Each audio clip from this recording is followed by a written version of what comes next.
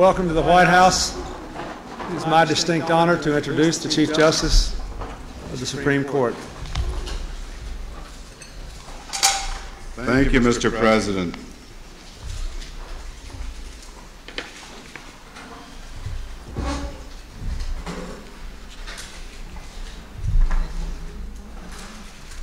Justice Ginsburg, will you raise your right hand and repeat after me? I, Ruth Bader Ginsburg, do solemnly swear. I, Ruth Bader Ginsburg, do solemnly swear that I will support and defend the Constitution of the United States. that I will support and defend the Constitution of the United States against all enemies, foreign and domestic, against all enemies, foreign and domestic, that I will bear true faith and allegiance to the same, that I will bear true faith and allegiance to the same, that I take this obligation freely. That I take this obligation freely. Without any mental reservation or purpose of evasion, without any mental reservation or purpose of evasion, and that I will well and faithfully discharge. And that I will well and faithfully discharge. The duties of the office on which I am about to enter, the duties of the office on which I am about to enter. so help me God. So help me God.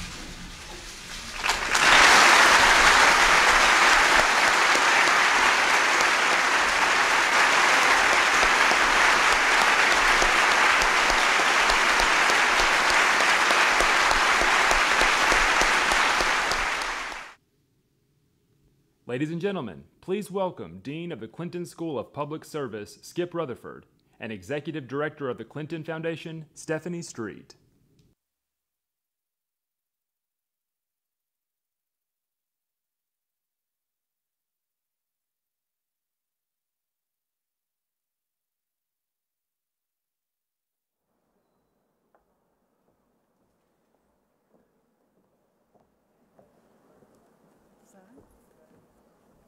Wow. You ought to look at this crowd.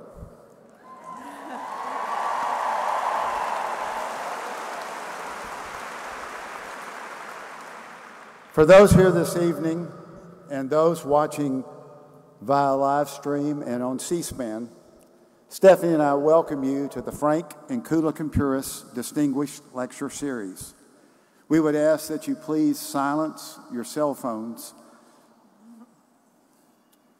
little activity there. Let me begin by first lifting up those who have been impacted and are dealing with Hurricane Dorian. If you are able, please consider supporting relief efforts. I'm Skip Rutherford, Dean of the Clinton School, and on behalf of the Kumpuris family, AT&T, the Clinton Foundation, and the Clinton School, we're glad you're here. Special thanks to Catherine Ann Kumpuris Trotter, Drew Kumpuris, and Dean Kumpuris for establishing this series honoring their parents. What a gift!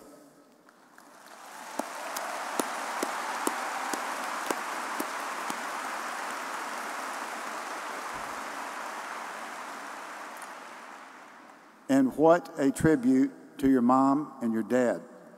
Just please know how grateful we are. I want to recognize the new class of Clinton School students. Stand up, guys.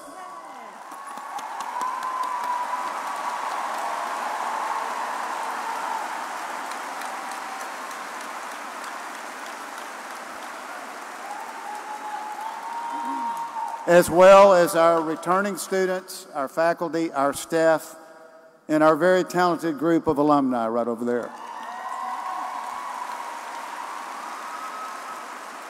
Also joining us are Congressman French Hill, University of Arkansas System President Don Bobbitt and his wife Susan, Dr. Michael Moore, System Vice President for Academic Affairs, current and former members of the Board of Trustees, several members of the federal and state judiciary, the staff from the National Archives, many elected officials, including Little Rock Mayor Frank Scott, and guests from all over Arkansas and the region. We're pleased to welcome students from Philander Smith College and several other and several other campuses, including the constitutional law class at UA Little Rock's Bowen School of Law.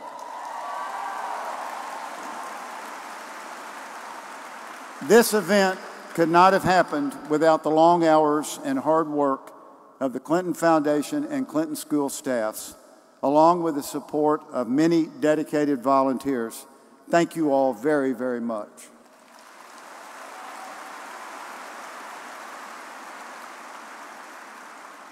A few months ago, I heard 10 year old Anna Lee Castleberry of Batesville deliver a very personal and inspiring speech. In her remarks, she listed people she most admired, and in addition to her family members, she proudly said, and I quote, RBG.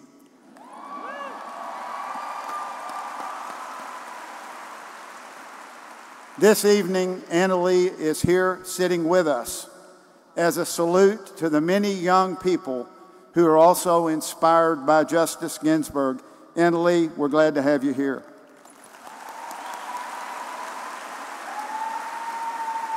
Again, thank you all for joining us, and thank you, Kumpuris family, for making all this possible.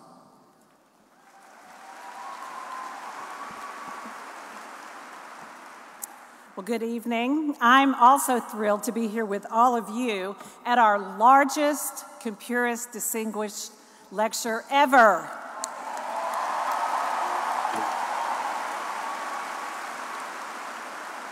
We knew that Justice Ginsburg would draw a large crowd, larger than the center's Great Hall could hold. And we were right. We have enough people here tonight to fill 40 Great Halls.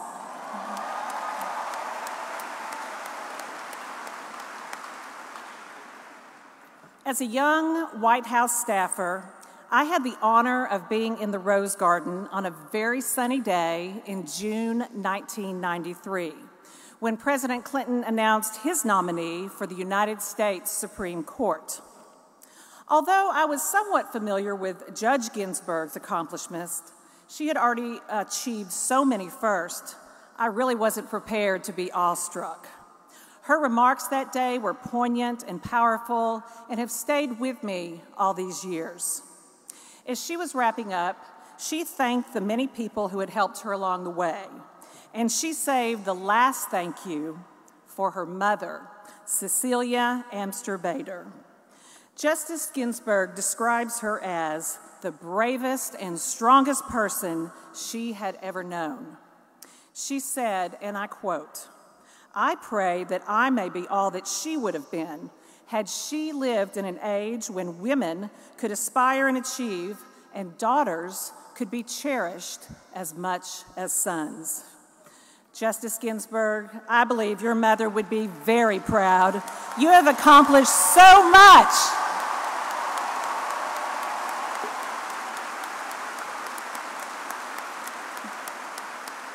And you are cherished by so many. It is now my honor to introduce someone else who is cherished by so many of us. When selecting the site for his presidential center, President Clinton said one reason he chose his beloved home state was because he would have never become president without the support of the people from Arkansas.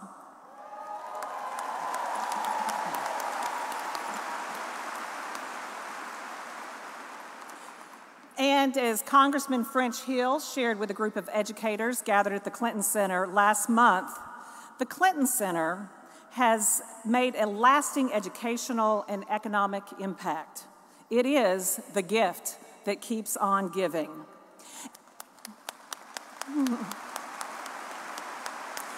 And 15 years after we opened our doors, the Clinton Presidential Center continues to give back to our community and our state. And I think this program tonight is a pretty good example.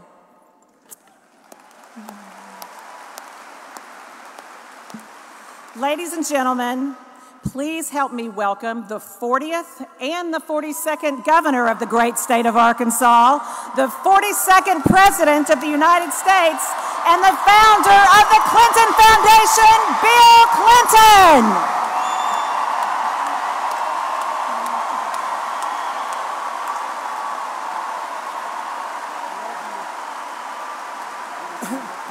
Thank you very much. Thank you. Thank you. Thank you. Thank you.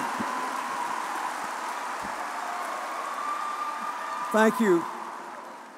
I want to thank Stephanie and Skip for the work they do at the Clinton Center and at the Clinton School of Public Service. I want to thank the Kumpuris family for sponsoring this lecture series. And thank you.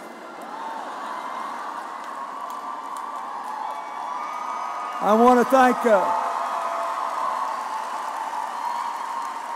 I want to thank all of you. I I tried to entertain Justice Ginsburg for a few moments before we came over here by telling her stories of my adventures and misadventures in Arkansas politics.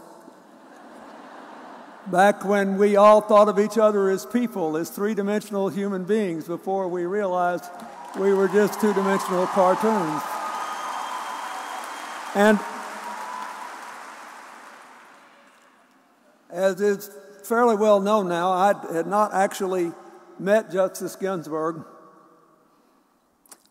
until that memorable Sunday evening in June of 1993 when she came to see me at the White House residence.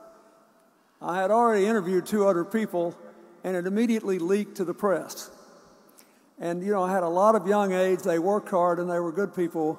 But if a reporter called them, uh, they were more afraid to say, I don't know, than anything else. So I got a big kick out of it. I sneaked who is now one of the most famous people in the entire world, into the White House, and nobody knew.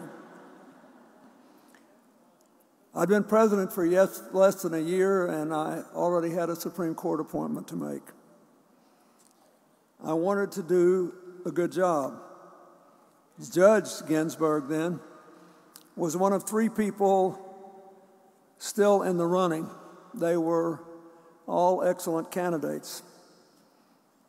And I carefully reviewed their resumes, but also their life stories. Hillary and a lot of other people had already told me I needed to take a hard look at Ruth Bader Ginsburg. They had ever met, actually, but Hillary had met her granddaughter because she went out and did a preschool event not long before I announced her appointment. And uh, she thought her granddaughter was a pretty good advertisement for her grandmother. But she told me, you need to know about this person because you like people who have good life stories who've actually lived what they say they believe. For those who haven't seen the recent films about her remarkable life, a very short version. She grew up in Brooklyn in a family of modest means. And as you heard Stephanie say, thanks to her mother's relentless early encouragement, she attended Cornell University and then Harvard Law, where she helped her husband and partner Marty through cancer treatment while simultaneously raising her daughter and working toward a degree. When he took a job in New York, she left Harvard. Now, that was a big sacrifice. There were then 500 people at Harvard Law School and she was one of nine women. Today,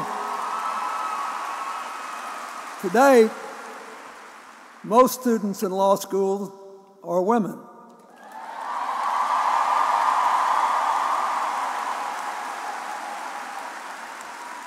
After she graduated from law school, she went on to co found the Women's Rights Project at the ACLU and began her career as a judge, still when the legal field was not particularly open to women. From the start of our first conversation in 1993, I got why so many people were hoping I'd appoint her. She was both brilliant and had a good head on her shoulders. She was rigorous but warm hearted. She had a great sense of humor and a sensible, achievable judicial philosophy. She also kept the moral compass and the mental toughness that guided her from humble beginnings. I was so engrossed with her story when we were sitting there, and I just kept peppering her with questions, that I suddenly felt that I was really not interviewing somebody at, for the Supreme Court at all. I was just a guy talking to somebody that I really liked and that I hoped could be a part of our future.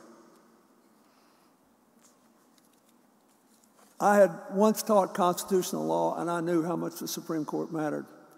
Even to people who didn't know it, I knew that it affects all Americans, sometimes very personally and deeply. I always thought a Supreme Court justice should have the heart, spirit, talent, discipline, knowledge, common sense, and wisdom to translate the hopes of the American people, their legitimate desire for fair and equal treatment, and all the cases prevented to it, into an enduring body of constitutional law that would preserve our most cherished values and still enable the American people to move forward. When I ran for president, I promised the American people that kind of justice. I think I kept that promise.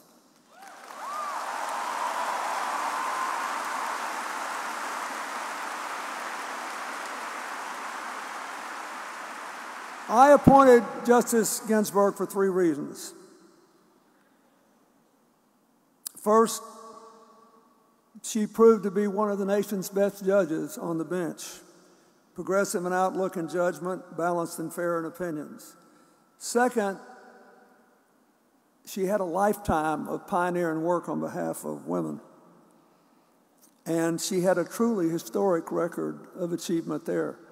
Before she was a judge, she argued six cases involving gender discrimination before the Supreme Court and won five of them. That's a better average than most people have.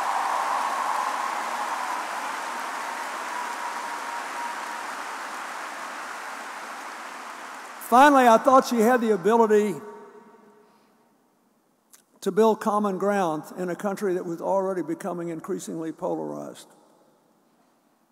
To find a way, whenever possible, for the court to be an instrument of our common unity in their fidelity to the Constitution. She had already proved herself to be a healer. Time and again, her moral imagination had cooled the fires of her colleagues' discord and ensured that jurists kept their, rise, their right to dissent without entangling the court in endless animosities. In short, I liked her and I believed in her. I just knew that she was the right person for the court. But I have to say, in the last 26 years, she has far exceeded even my expectations.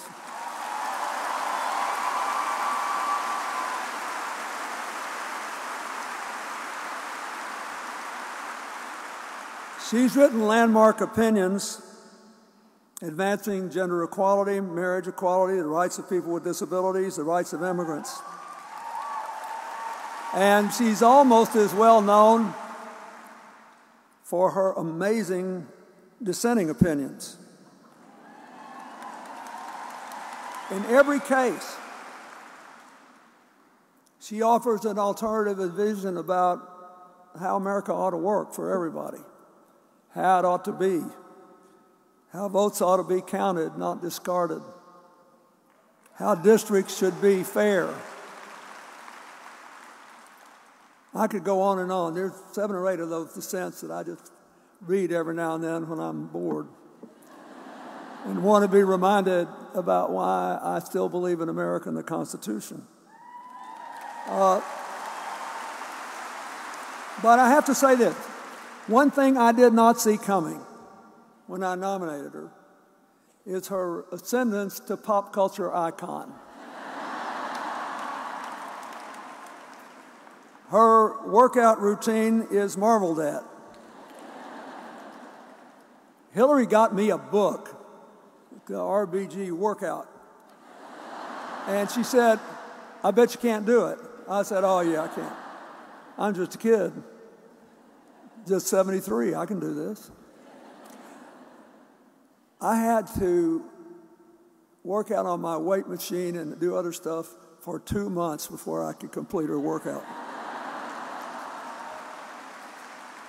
Regularly, she's portrayed on Saturday Night Live delivering her blistering Ginsburns. and now you can see her image and her quotes on t shirts, tote bags, and coffee mugs the world over. You could become resentful of such a person. but you're not. We like her because she seems so totally on the level. In a world hungry for people who aren't trying to con you, who are on the level.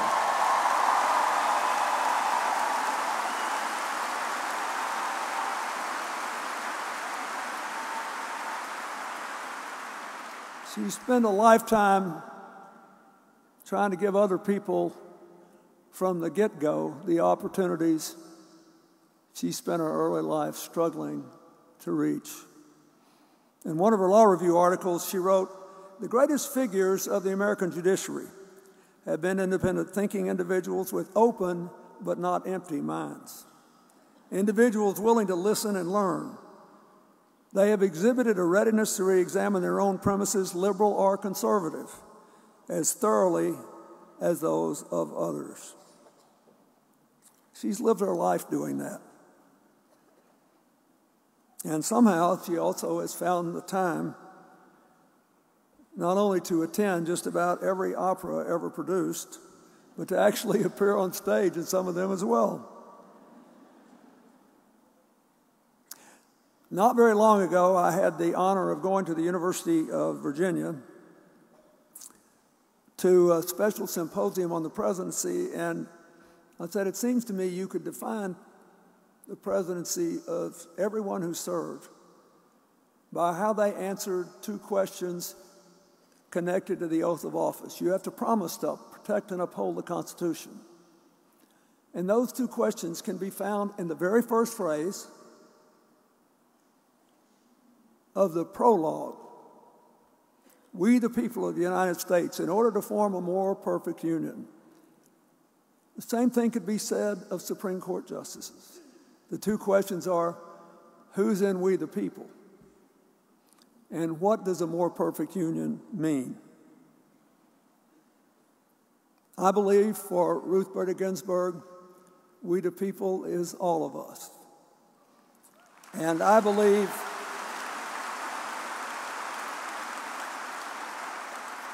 that in her more perfect union, all of us on equal terms will be at home.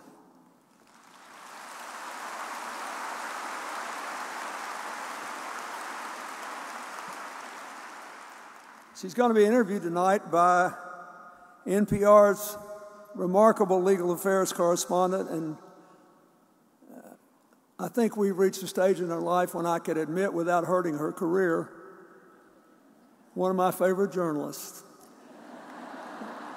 Nina Totenberg. Now,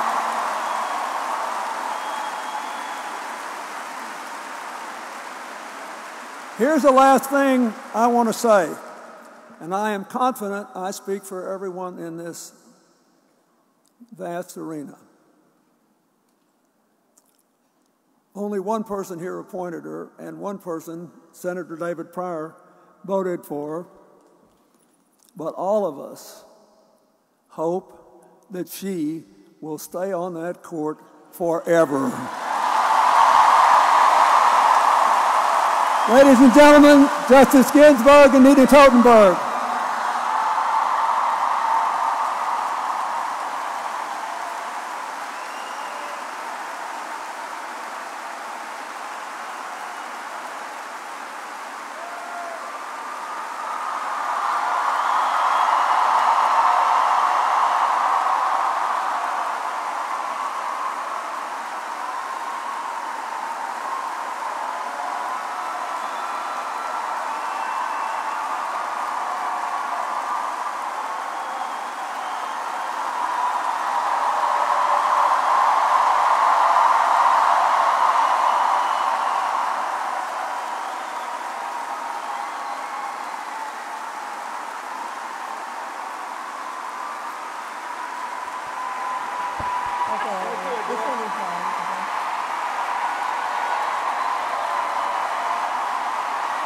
Thank you, thank you. Please, everyone, please be seated. Please be seated.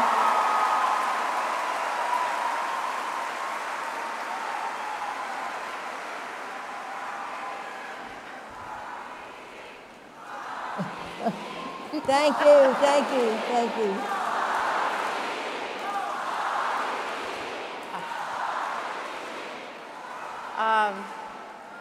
Thank you all for coming.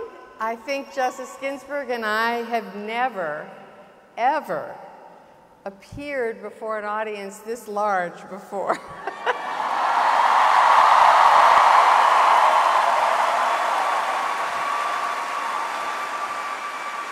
and uh, I understand that normally this is, I guess, recently the worldwide wrestling entertainment.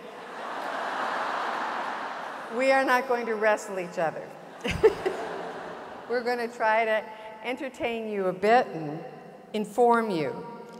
Um, you've heard President Clinton describing his why he picked Justice Ginsburg, but I think I should start this interview asking you about that interview. Um, so let me set the stage. The year is 1993. The new president is flirting with all manner of potential Supreme Court nominations, and uh, the names keep getting leaked to the likes of me. Um, and behind the scenes, the inimitable Martin Ginsburg is doing everything in his power to promote his tiny but auspicious wife. Uh, and finally, you get a call from Bernie Nussbaum, the White House counsel, and it's a call that you had long hoped for, but you are in something of a fashion dilemma. So tell us about how you got the call that day calling you to the White House and what your fashion dilemma was. I was called on a Saturday in Vermont, where I was to attend a wedding. and um, Bernie Nussbaum said, the president wants to meet you. Please come back to D.C. And I said, Well, I've come all this way to attend the wedding. Can I come tomorrow morning? and he said, Fine, we'll go right from the airport to the White House. And I said, But I'll be wearing my traveling clothes.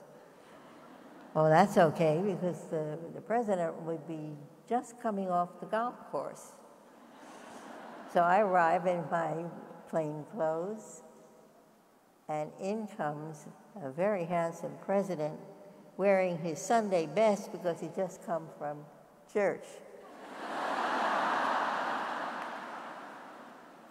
So, what was the conversation with the president like? What kinds of things did he ask? And did you have a good time or were you in interview agony? Did, I didn't hear the. Were you, did you have a good time, or were you Oh, in I had a interview agony? agony? No, it, it was very easy to talk to the president. Um, we talked about constitutional law. After all, he was a constitutional law professor. We talked about family. Uh, we talked about many things. And I've had the experience with some men that they have certain discomfort talking to a, a woman. That was not that way with President Clinton.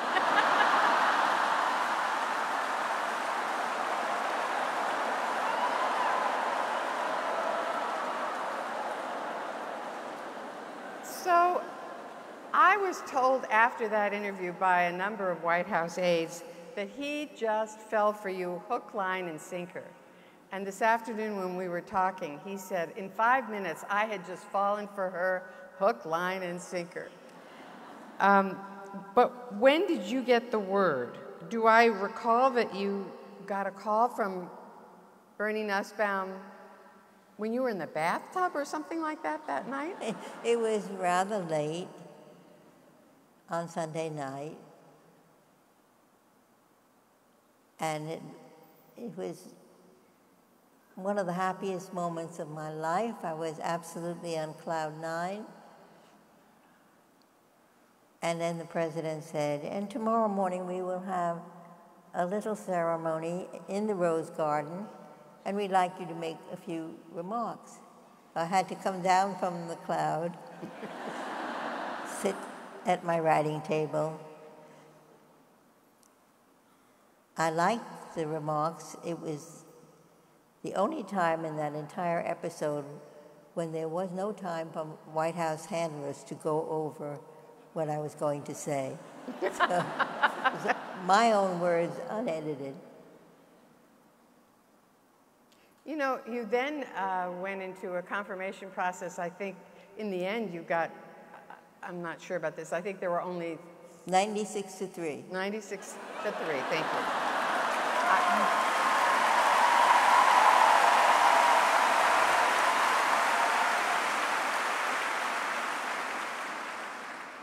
Republicans today often cite the Ginsburg rule. And when I go back and I read the transcript, I read about what your rule was. But it strikes me that in light of modern confirmation hearings, more modern confirmation hearings, uh, nominees are considerably less responsive of all political stripes, not just Republican nominees. You actually answered questions about abortion and the death penalty and all kinds of things. The, the Ginsburg rule was that you please do not ask a question that may come before the court because then I would have to disqualify myself if I gave an answer. Because a judge is not supposed to react just off the top of her head. When a question is presented to us, we read, first of all, the decisions that were written by the courts below, the trial court, Court of Appeals, and then we read the briefs that are anything but brief, filed by the lawyers, and we read the relevant precedent. So to give an answer to a question without the benefit of all that reading and briefing is not what a judge could do. Still, there was a lot out there that I could be asked about because I was 17 years a law teacher, 13 years a judge on a court of appeals, so I'd written hundreds of, of opinions, many articles, and anything that I had already written was fair game. So you arrive at the court, you're the second woman, and Justice O'Connor had been there for 12 long years without you, right? What advice did she give you? She told me just enough to enable me to navigate those early weeks. She didn't douse me with a bucket full of information, just enough to get by. She was, I think, very pleased at a change the court made when I was appointed. Justice O'Connor was the lone woman on the court for 12 years. In our robing room, there is a bathroom, and it says men. For Justice O'Connor, when the need arose, she had to go all the way back to her chambers. When I came on board, they rushed a renovation. They created a women's bathroom equal in size to the men's.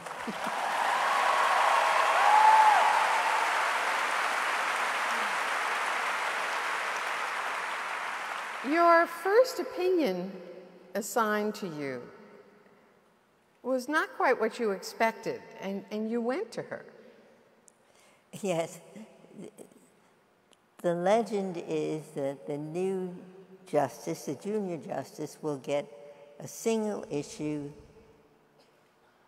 case in which the court is unanimous. Well, Chief Justice Rehnquist gave me as my first assignment a miserable ERISA case. ERISA is the Employee Retirement Security Act. It is one of the most complex statutes Congress ever wrote. The court was not unanimous, it divided six to three, and Justice O'Connor was on the other side. She was one of the three. So I came to her and I said, Sandra, he was not supposed to do that to me. her response, and this is typical of Justice O'Connor, she said, Ruth, you just do it. just do it. And get your opinion draft in circulation before he makes the next set of assignments. Otherwise, you will risk getting another miserable case. I could never understand why lawyers that appeared before the court, who appeared before the court, and not uh, people who were not accustomed to the court, but some very seasoned lawyers, would get these two women mixed up. And Sandra Day O'Connor was about five, seven, or eight. You claim to be over five feet tall. Uh, she was a Western ranch girl with a tw Western twang. You were a New Yorker, a Brooklyn girl. I don't know that it was a Brooklyn twang, but you were clearly an Easterner. Uh, she didn't wear her hair the way you do. Um, and still, people kept calling you Justice O'Connor and her Justice Ginsburg.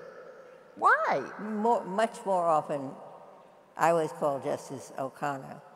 Well, the lawyers had learned there was a woman on the court, and her name was Justice O'Connor. So when they heard a woman's voice, it had to be Justice O'Connor. and she would sometimes respond, I'm Justice O'Connor, she's Justice Ginsburg. There was a lot of attention paid to the two of us and how we interacted. And one day, I think it was in USA Today, there was a headline. The headline was Rude Ruth interrupts Sandra.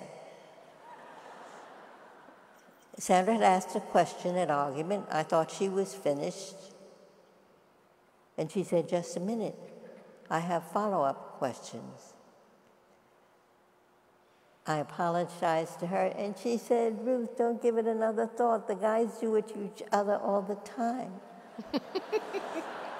there even was a T-shirt presented to the two of you, I think, by I think it was the Radcliffe, somebody, some group of women from Radcliffe, and one side said, "I'm Sandra, I'm Sandra, not Ruth."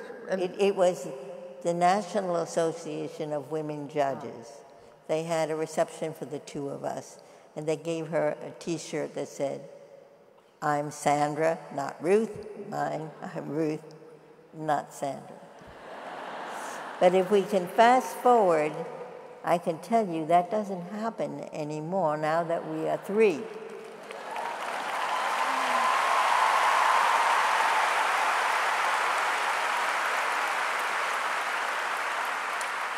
What kind of a difference does it make? Hmm? What kind of a difference does it make to have three? Oh, one is the public perception. We have a line, a 10 minute line, often school children coming in and out of the court. And if they see three women, because of my seniority, I sit next to the chief. Justice Sotomayor is on one side, Justice Kagan on the other. So we're one third of the court, we're all over the bench. And as you will affirm, my sisters in law are not shrinking violets. They, are very active in the colloquy that goes on at, a, at an oral argument.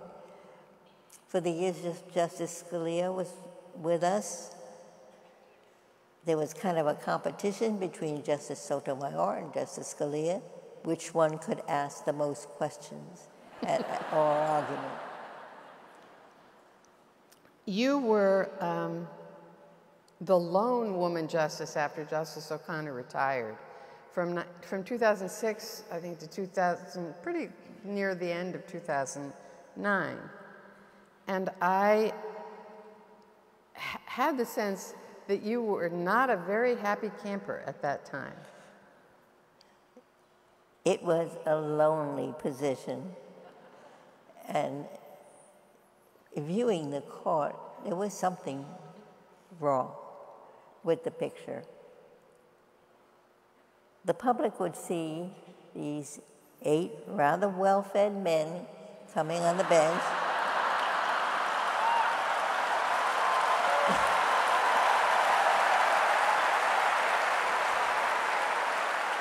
and then there was this rather small woman.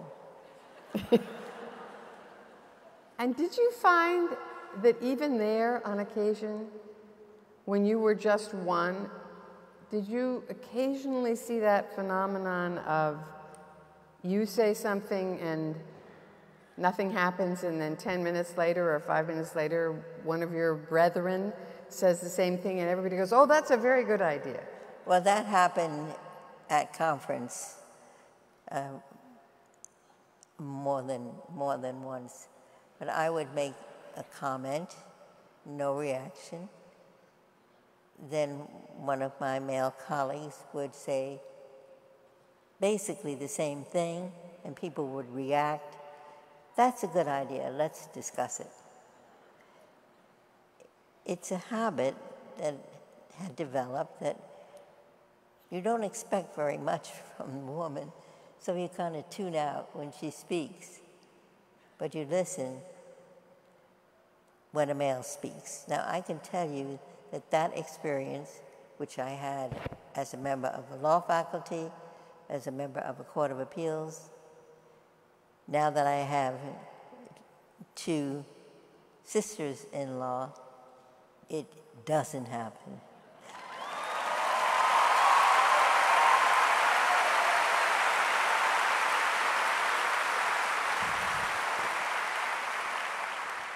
I'm going to pause here and ask you the question on, on people's minds.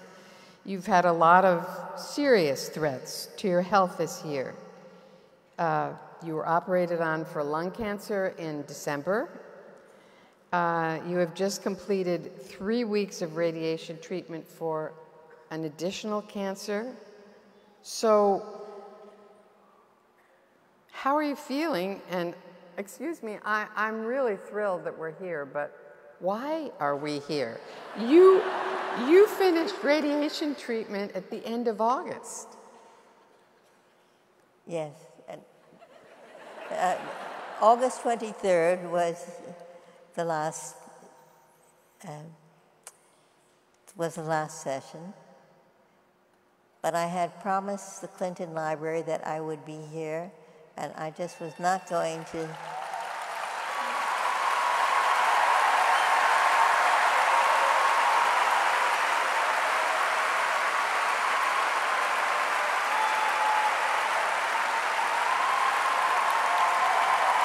Thank you, thank you.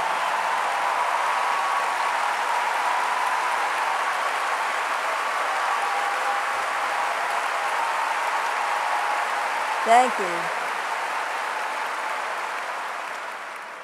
And I'm pleased to say that I am feeling very good tonight.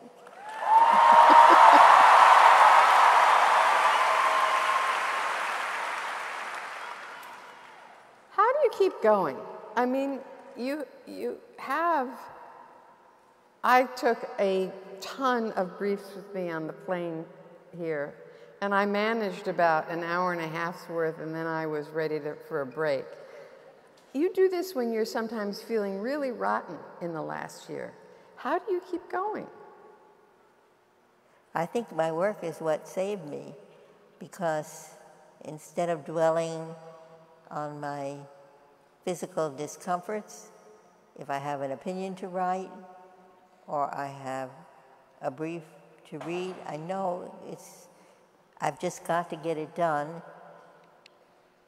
And so I have to get over it. Well, my, this is another instance where I got very good advice from Justice O'Connor. Justice O'Connor had a mastectomy, and she was on the bench nine days after her surgery. She told me in my first cancer bout was colorectal cancer. Ruth, you schedule your chemotherapy for a Friday. Then you can get over it a Saturday and Sunday and be back in court on Monday.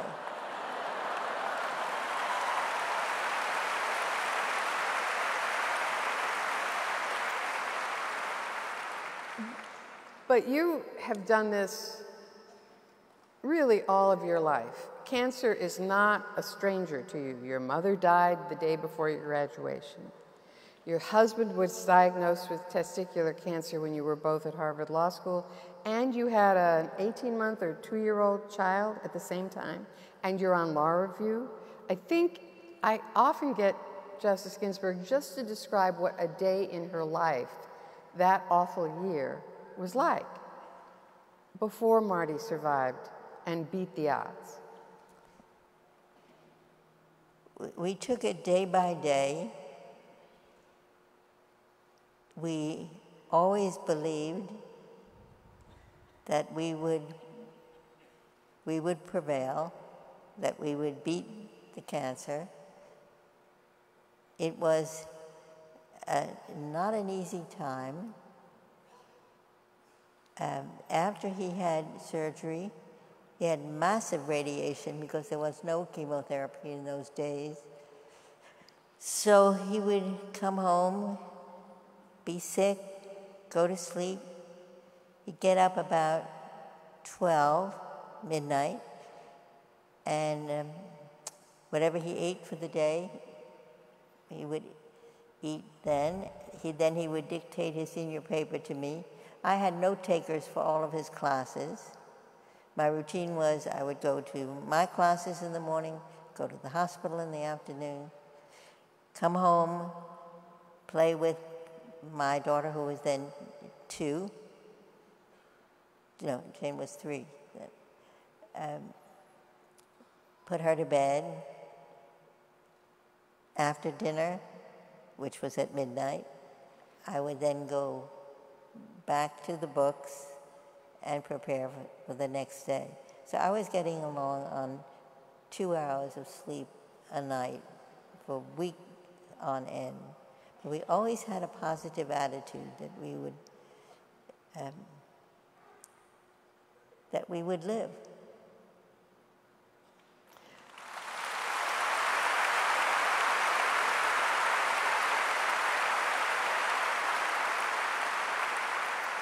So, for your last year of law school, because Marty was a year ahead of you, you moved to New York to be with him for his job. Um, you graduated tied for first in your class at Columbia Law School, uh, but you couldn't get a job. You and Justice O'Connor used to talk about how lucky that was Yeah. in hindsight that you couldn't get jobs when you graduated at the tops of your respective classes. Well, it's an example of how something that may seem dreadful, very bad luck, turns out to be the most fortunate thing that ever happened to you. And Justice O'Connor put it this way She said, Suppose we had graduated from law school at a time when there was no discrimination, when women were welcome at the bar. What would we be today? We would be retired partners from some large law firm. But that route wasn't open to us, so we had to find another path, and that path led us to become Supreme Court justices.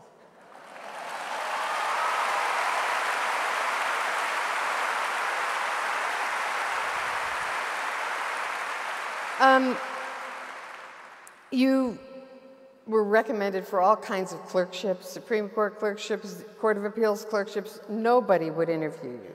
None of these, because in those days they were all men, would, would interview you. You finally did get a clerkship back then thanks to the rather assertive inter intervention of one of your professors, um, who basically said to your judge, the judge who hired you, if you take her and it doesn't work out, I have a guy who I'll send to you. He's at a, at a law firm now. But if you don't, I will never send you another Columbia grad. Um, so you went to work for Judge Palmieri. It ended up for two years, despite the fact that you had two strikes against you, where you were not only a woman, you were a mother. Um, but one of the charming stories of this period of your life is that one of the judges who turned you down and was not interested in you was Judge Learned Hand, a very famous, famous judge. And he turned you down because he said he couldn't swear in front of you. So, so you pick up the story from there. Judge Learned Hand lived uh, one block uh, away from the judge for whom I clerked, Judge Palmieri. And Judge Palmieri often drove Learned Hand home. When I was finished in time, I would ride uptown with them, sitting in the back seat. And this great jurist would say anything that came into his head words that my mother never taught me. and I asked him, You say you won't consider me as a clerk because you would have to censor your speech. And yet, in this car, I don't seem to inhibit you at all. and his response was, Young lady, I am not looking at you. Um, for those of you who have not seen RBG or the biopic on the basis of sex, I recommend both. Uh, they pri- provide a pretty good view of your career prior to becoming a judge and then later a Supreme Court justice. But what used to strike me when I covered your arguments uh, was how you had tailored your arguments. You had an all male Supreme Court, and you tailored your gender discrimination cases, the arguments in those cases, to appeal to different justices in different ways. And you often had male plaintiffs, um, and one of those male plaintiffs was Stephen Wiesenfeld, whose wife died in childbirth and who was denied Social Security benefits for his remaining his child who survived, even though his wife was the principal breadwinner. And you won, but there were basically three arguments that succeeded, and I wanted you to talk about each how each group of justices saw it. First, uh, let me tell the audience how Stephen Wiesenfeld came to my attention. He had written a letter to the editor to his local paper in Edison, New Jersey. And he said, I've been hearing a lot these days about women's lib. Let me tell you my story. My wife died of an em- embolism just after our son was born. And I knew that there were benefits available to a sole surviving parent who had a young child to take care of. So I went to the Social Security office to claim those benefits, and I was told, We're very sorry, Mr. Wiesenfeld, these are mother's benefits. They're not available to fathers. Now, it was obvious to me that although the plaintiff was a man, the discrimination was against the woman as wage earner. She paid the same Social Security taxes that a man would pay, but her contributions did not net for her family the same protection. So I think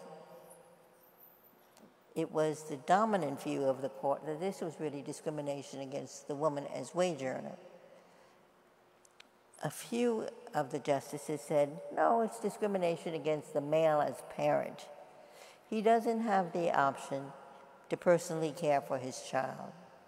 Under Social Security, you could earn a certain amount and still get the Social Security benefits. If you earned over the limit, the benefits would be reduced dollar for dollar. And Wiesenfeld had figured out I can do part time work, earn a certain amount, and keep those benefits. So some of the justices said it's obvious that it's discrimination against the male as parent. He has no choice but to work full time. He doesn't have the option to care personally for his newborn. And then there was one who later became my chief, then Justice Rehnquist, who said, it's totally arbitrary from the point of view of the baby. Why should the baby have the opportunity for the care of a sole surviving parent only if that parent is female and not if the parent is male? So it was such a wonderful illustration of how gender based discrimination hurts everyone hurts women, hurts men, and children.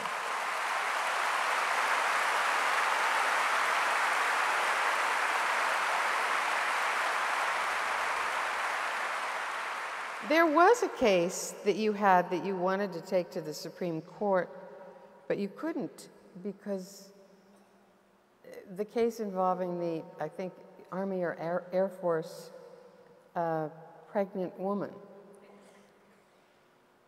The Susan Struck case. Yes. Yes. I had hoped that that would be the first reproductive choice case that the court would hear. The case arose in 1971 when Captain Struck was serving in the Air Force. And she was serving abroad when she became pregnant. Pregnancy in those days was a mandatory ground for discharge. The base commander said to her, 1971, two years before Roe v. Wade, you can have an abortion on base. We provide those for women in service and wives of men in service. And if you do, you can remain in the Air Force. But if you choose to go through the pregnancy, you are discharged. No exceptions. Susan Struck said, I'm a Roman Catholic. I cannot have an abortion, but I've made arrangements to have the child adopted at birth, I will cost the uh, taxpayers nothing because I'll use only my accumulated leave time for the birth. And she said, You know, here we are at Clark Air Force Base, where some of my male colleagues get hooked on alcohol or on drugs. And you don't mandate their discharge. If they report themselves, they can be in a rehabilitation program, and you will keep them for much longer than the time I'm going to take off for this birth. Doesn't make any sense. Pregnancy is a ground, a mandatory ground for discharge, and that was that. Uh, Susan Struck brought her case in a federal district court. She lost there. Oh, by the way, she was very well represented, so she got a stay of her discharge every month. So she was always in, fighting to stay in, not out trying to get back in. Mm-hmm. Anyway, she um, She won in the district court? She, it, it, what happened, then, then it went to the Court of Appeals. She lost again, but there was a very good dissenting opinion. And then uh, I wrote a petition to the Supreme Court to hear her case. The Supreme Court said, yes, we'll take it. And then the Solicitor General at the time, who had been dean of the law school I first attended, he asked to have a meeting with the top military people and said, This case has lost potential for the government. You should waive Captain Struck's discharge and then change the rule prospectively so that pregnancy is no longer an automatic uh, discharge. And, and the Air Force did. And then immediately the government moved to have the case returned to the Court of Appeals for determination whether it was moot, no longer live because she got all the relief she was seeking. She remained an Air Force officer. So I called Captain Struck and said, Is there anything you're missing so that we can claim this case is still alive? And she said, Well, I have all my pay and allowances, so nothing there. But there is one thing. This conversation is going on now in 1972. She said, All my life, I've dreamed of becoming a pilot.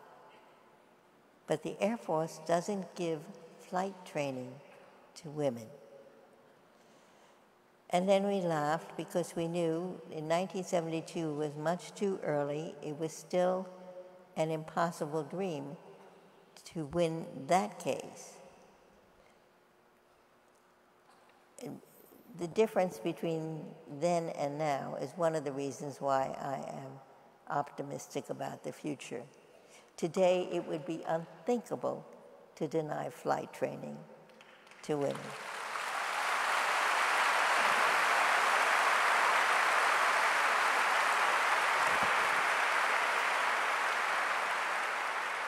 Justice Ginsburg, this may be a little uh, too thinky, but I think it's important to talk about. Um, and that is the notion of originalism versus a living constitution. A majority of the current court believes, to one degree or another, in the notion that justices should interpret the Constitution as it was meant by the founding fathers when it was written in the late 1700s that the original intent is what matters, and the text as it was written and what it was intended. You and most of the justices you have served with, at least until now, have a somewhat different take that the Constitution was written to be elastic enough, as Justice Kennedy, now retired, put it, to accommodate changes in society. Could you talk about your thinking a bit?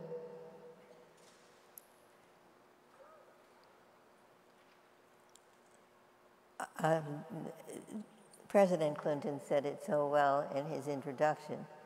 Our Constitution begins with the words, We the people of the United States, in order to form a more perfect union. So think how things were in 1787. Who were we the people? Certainly not people who were held in human bondage, because the original Constitution preserved slavery.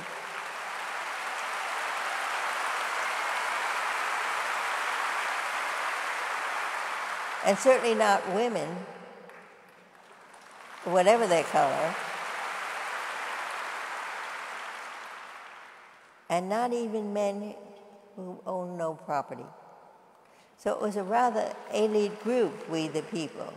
But I think the genius of our Constitution is what Justice Thurgood Marshall said. He said he doesn't celebrate the original Constitution, but he does celebrate what the Constitution has become now over, well over two, well over two centuries, and that is the concept of we the people has become ever more inclusive. So people who were left out at the beginning, slaves, women, men without property, Native Americans were not part of we the people. Now all the once left out people are part of our political constituency. And we are certainly a more perfect union as a result of that.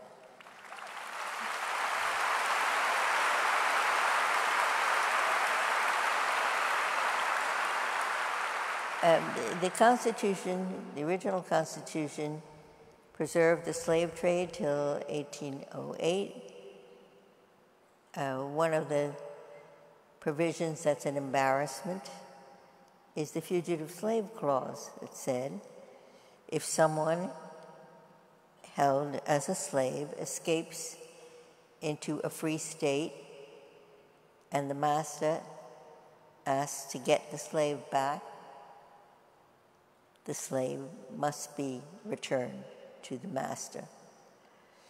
That fugitive slave clause is in Article 4 of the Constitution, where you can still read it today, but there'll be a star next to it saying, changed by the 14th Amendment, which says,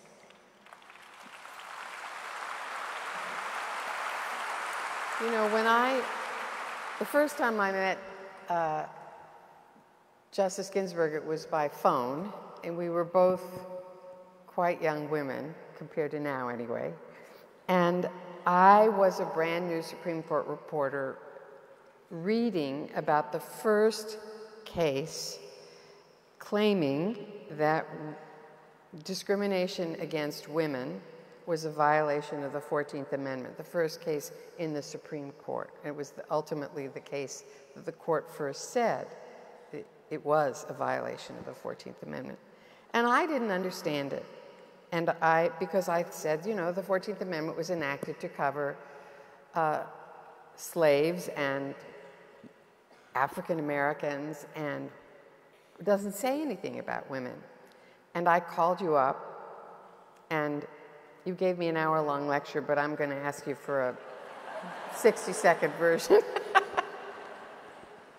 but you, you said, I thought the 14th Amendment was about race. Yes. And I said, yes, it certainly is about race. But the 14th Amendment reads, nor shall any state deny to any person the equal protection of the laws.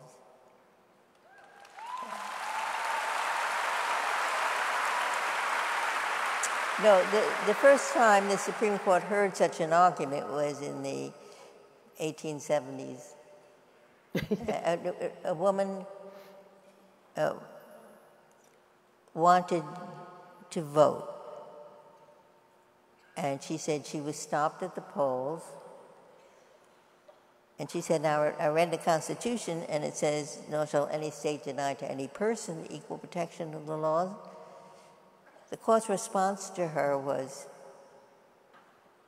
uh,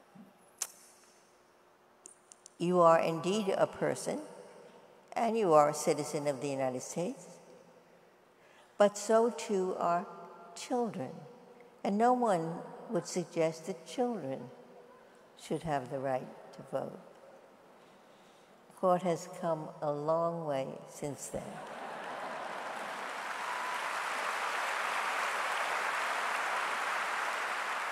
The turning point case that you asked me about was called Reed v. Reed. It was about Sally Reed, who had a great tragedy in her life. She had a son. She and her husband divorced. When the boy was young, the legal term is of tender years, Sally was appointed custodian of the child. When the boy reached his teens, the father went to the family court and, and said, Now he needs to be prepared for a man's world, so I should be the custodian. Sally fought that. She thought it was uh, would not be good for her, her son to live in his father's home. But she lost. Sadly, she turned out to be right. The boy was sorely depressed. And one day he took out one of his father's many guns and committed suicide. So Sally wanted to be appointed administrator of his estate to take care of whatever he left behind, which was precious little small bank account, a guitar, some records, that was about it. and she applied. Her former husband applied two weeks later, and the probate court judge said to Sally, I'm sorry, but the law gives me no choice. It reads, this, is, this was the law of the state of Idaho, as between persons equally entitled to administer a decedent's estate, equally entitled. Males must be preferred to females. And the thing about Sally Reed is she was an everyday woman. She made her living by caring for elderly or uh, disabled people in her home. But she thought an injustice had been done to her. And she also believed that our legal system would right that wrong. So, on her own dime, she took the case through three levels of the Idaho court, courts, and then I got involved in the case and wrote the brief for her Supreme Court case. She prevailed with a unanimous decision it was the first time, the case was decided in November 1971, first time in history that the Supreme Court ever held a gender based classification unconstitutional.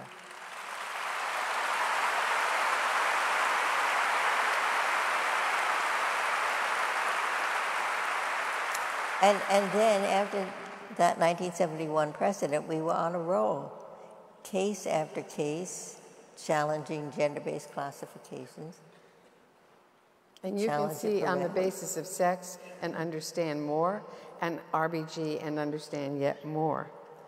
So, speaking of children for a moment, I want to sort of lighten this up before I close with some conversation about your late great friend Justice Scalia and your relationship with him. But first, could I get you to tell the story of the elevator thief? the elevator thief was my then let's see, how old was Jamesy? Must have been 11, my, my son. Uh, my son was a lively child.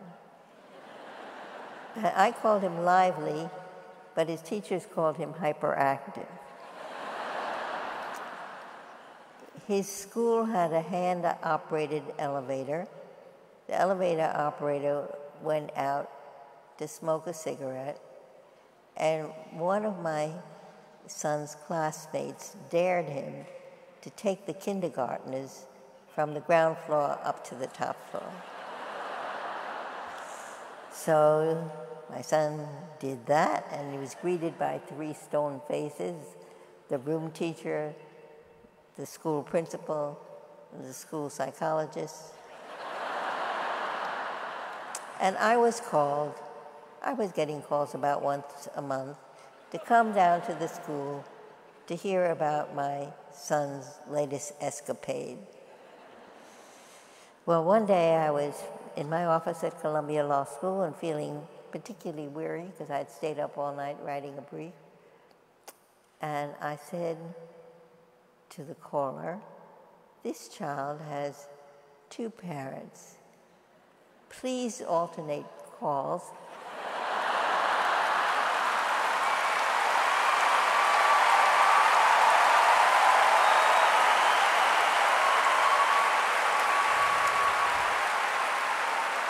and, and it's, his, it's his father's turn.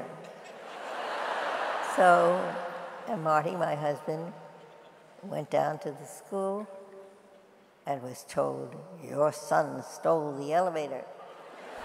and my husband, who had a wonderful sense of humor, said, hmm, So he stole the elevator. How far could he take it? now, I don't know if it was Marty's sense of humor. I suspect it was that the school was very hesitant to take a man away from his work. There was no quick change in my son's behavior, but the calls came barely once a term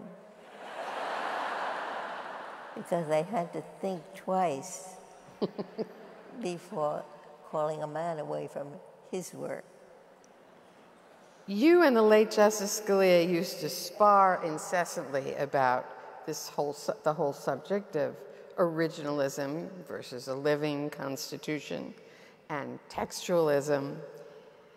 But you were great friends for many decades. You served on the same Court of Appeals. You'd known each other even, I think, at the University of Chicago briefly. Um, so let me you know, start with that personal friendship.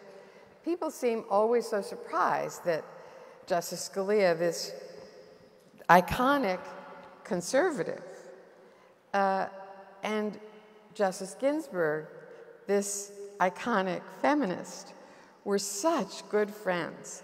So, and I know that you really loved him. So, what did you love about him? He had a marvelous sense of humor.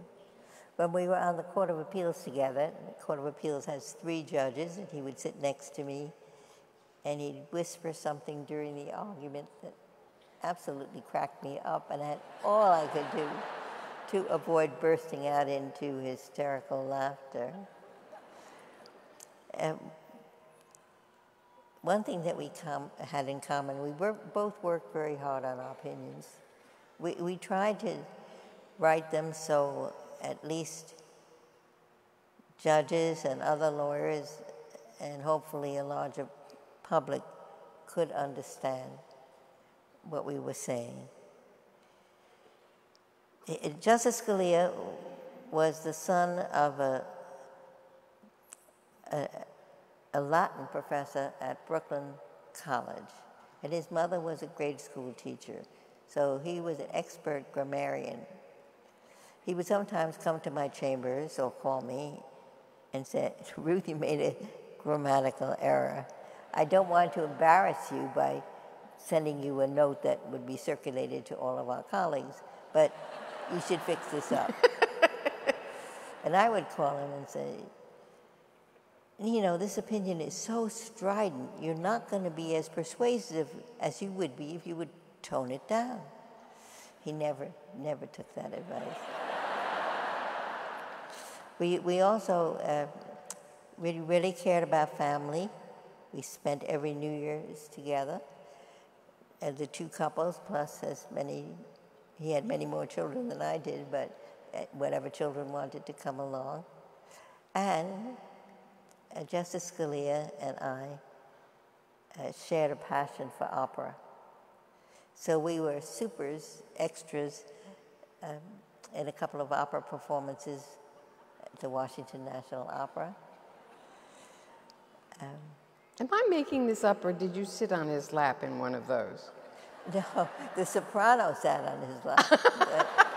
so he knew that she was going to end the song on his lap, but he, what he didn't know is that she was going to throw her arms around him and give him a big kiss. and you travel together. There's a, a very funny picture in your chambers of the two of you on a.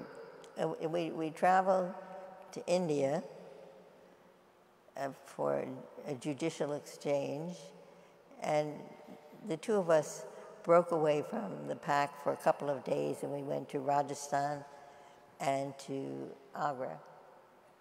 And there was a famous picture where in the Rambagh Palace in Rajasthan, a very beautiful, uh, it, was the, it was the palace of the last Maharaja of Rajasthan.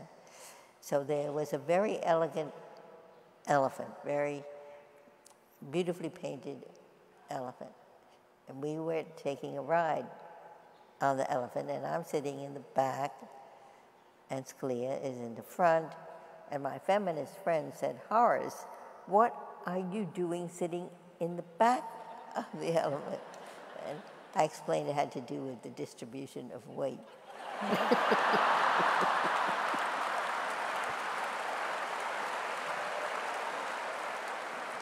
there is an opera, as you would expect, a comic opera about the two of us. It's called Scalia Ginsburg. Again, why is Scalia first? Because in our workplace, seniority really counts, and he was appointed some years before I was.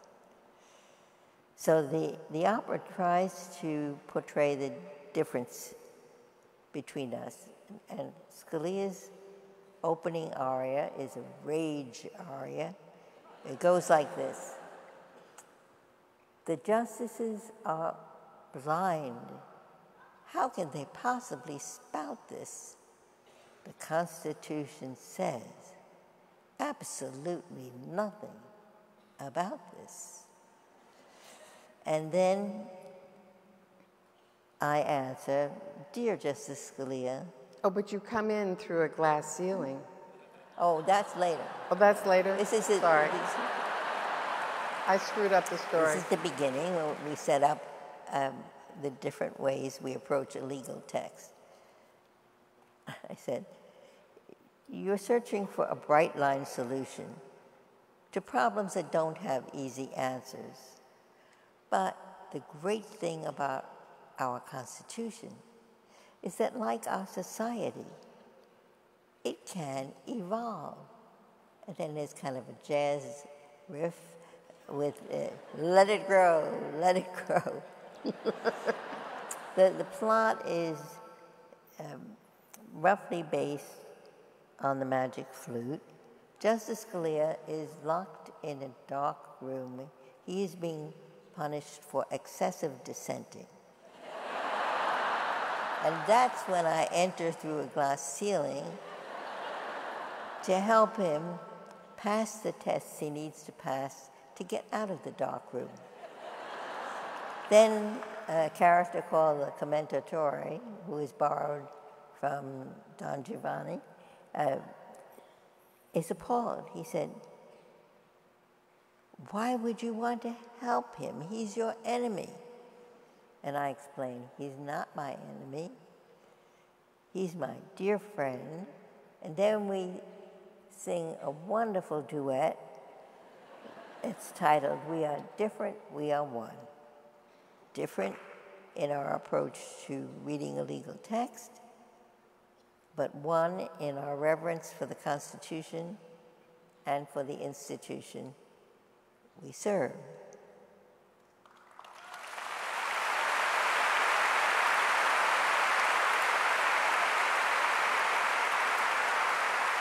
Well, Justice Ruth Bader Ginsburg, dear notorious one, we thank you for a wonderful evening.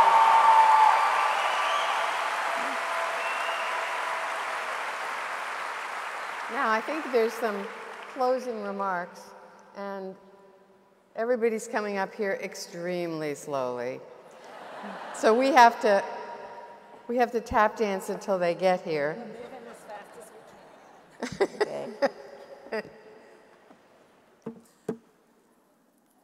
Well, this has been a pretty spectacular program. I hope you'll help me thank our host, President Clinton.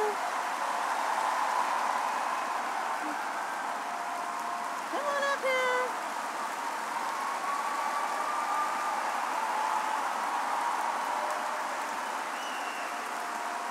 Thank you.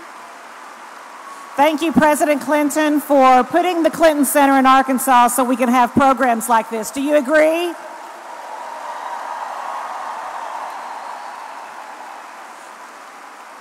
Please help me thank our terrific moderator, Nina Totenberg.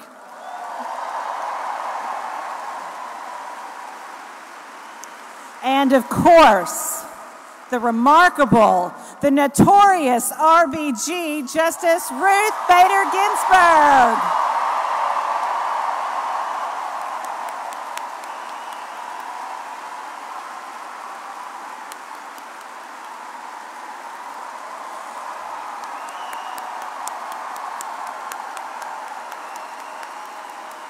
On behalf of the Clinton Foundation, the Clinton School of Public Service, thanks to all of you who joined us here, who watched us online, and we hope to see you at the Clinton Presidential Center very soon. Good night.